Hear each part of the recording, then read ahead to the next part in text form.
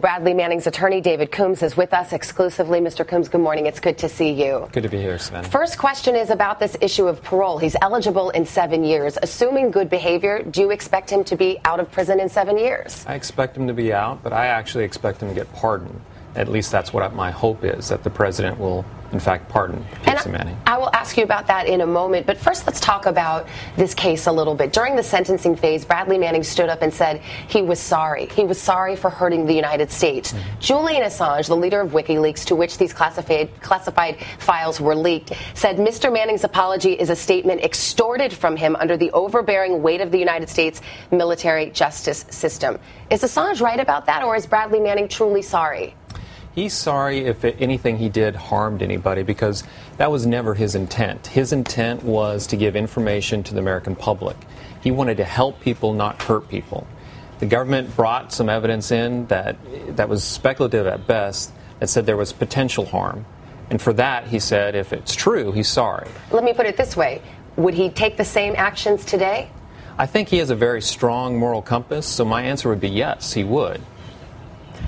Do you think in any way he was used or persuaded or manipulated by WikiLeaks and Assange? I ask you that because during this trial, particularly in the sentencing phase, mm-hmm. you portrayed him as somebody under extreme duress, psychologically damaged, dealing with a host of issues. Mm-hmm. Do you have any concerns about that?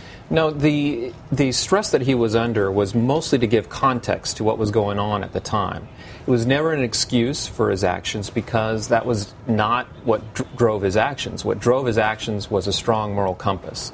WikiLeaks had nothing to do with bringing information out of him. He gave information to WikiLeaks. You mentioned the moral compass. On the other hand, if he wanted to expose wrongdoing, how does he justify the indiscriminate mass leak of 750,000 documents that he could not possibly have read or known what was in them?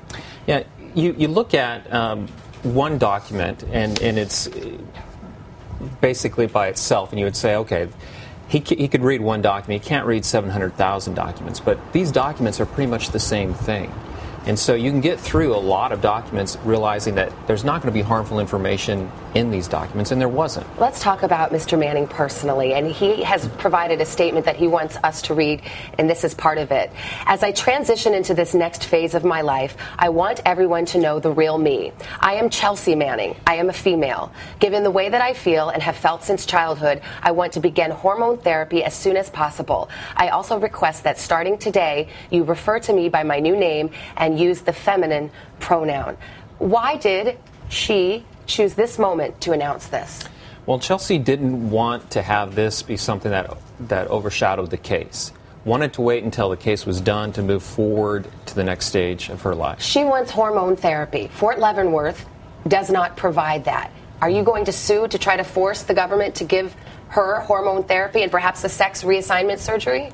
Well, I, I don't know about the, the sex reassignment surgery that Chelsea hasn't indicated that that would be her desire. But as far as the hormone therapy, yes, I, I'm hoping Fort Leavenworth would do the right thing and provide that. If Fort Leavenworth does not, then I'm going to do everything in my power to make sure that they are forced to do so. Is the ultimate goal here for her, him, to be in a female population, a female prison? No, I think the ultimate goal is to be comfortable in her skin and to be the person that she's never had an opportunity to be. Do you have any fear for her being in a general male population number one, for the, the crimes for which she's been convicted, and also saying, I want to live as a female. Do you fear for her safety? I don't, and the reason why is everyone that's in a military prison is a first time offender. These are soldiers who have done something wrong, have gone to prison, and are really just trying to do their time and then get out. It, is it the bottom line you don't think she wants sex reassignment surgery, or she doesn't think she'll be able to get it? I haven't really discussed that aspect of it with her. Um, really, it's more about getting the hormone therapy. So uh, at that, this point, I don't know the answer to that. One of the defense psychiatrists at trial testified that Manning has narcissistic tendencies. Mm-hmm. And I wonder if there's anything to that in the sense that she's announcing this in this very big public way. No, I think this is really trying to let people have the answer that they wanted. Um, she never really wanted this to be public to begin with. Uh, when the information came out, you need to understand that she gave it to Adrian Lamo in a very private setting, in a one on one chat, never expecting this to be public. now that it is, unfortunately, you have to deal with it in a public manner. As she left the courtroom yesterday, some supporters shouted, You are a hero. Does she consider herself a hero? She doesn't. She considers herself as somebody who did something that she felt morally obligated to do and something that she felt that she had to do in order to live with what she saw. Uh, but no regrets. No regrets. David Coombs, thank you very much for Thank being you, here. Savannah. Appreciate it.